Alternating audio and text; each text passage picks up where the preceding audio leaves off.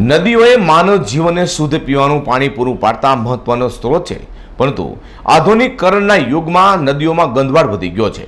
નવસારી શહેરની ચાર લાખની વસ્તીનું સૂઝબૂતું પાણી સ્વે ટ્રીટમેન્ટ પ્લાન્ટના અભાવે સિંધુર પૂર્ણા નદીમાં ઠાલવામાં આવી રહ્યું છે, જેને કારણે નદીનું પાણી ગંદુ થઈ રહ્યું છે. સાથે ખુલ્લી ગટરોના કારણે શહેરીજનોના સ્વાસ્થ્ય સામે પણ આ સવાલો અનેક ઊભા થવા પામ્યા છે. જોઈએ વિશેષ જી ટ્વેન્ટી વનનો રિપોર્ટ શહેરોની વધતી વસ્તીના કારણે ગીચતાએ યક્ષ પ્રશ્ન બની જવા પામ્યો છે, ત્યારે ગંદકીનું સામ્રાજ્ય વધી રહ્યું છે. તેમાં પાણીનું પ્રદૂષણ મોટા પાયે થયું છે. નવસારી શહેરની ચાર લાખની વસ્તીના એક લાખથી વધુ ઘરોમાંથી નીકળતું સુએજનું પાણી સીધું ગટરો મારફતે શહેરની પૂર્ણા નદીમાં ઠાલોમાં પણ આવી છે.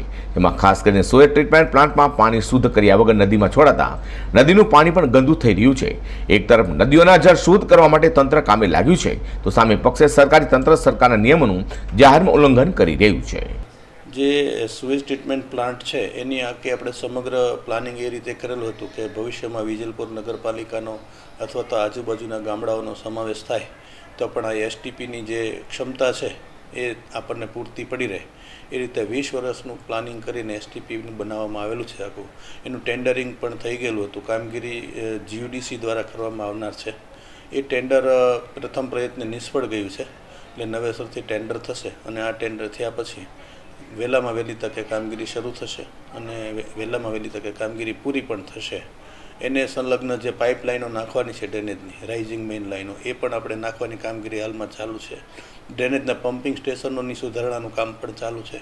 નવા પમ્પિંગ સ્ટેશન બે બનાવવાના છે, એની પણ કામગીરી ચાલુ છે. એટલે એકથી દોઢ વર્ષની અંદર એસટીપી કાર્યરત થઈ જાય એવી આપણી અપેક્ષા છે.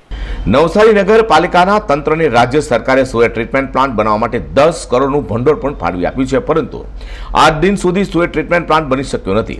પ્લાન્ટ માટે જમીન પણ શોધી શક્યા નથી. શહેરોની ખુલ્લી ગટરો મારફતે પણ પૂર્ણા નદીને ગંદકી કરવામાં આવી રહી છે. Deepak Vasava, Zee twenty news, Navsari.